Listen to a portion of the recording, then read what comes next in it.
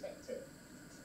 So just measure the old free fruit, cut this, be careful not to cut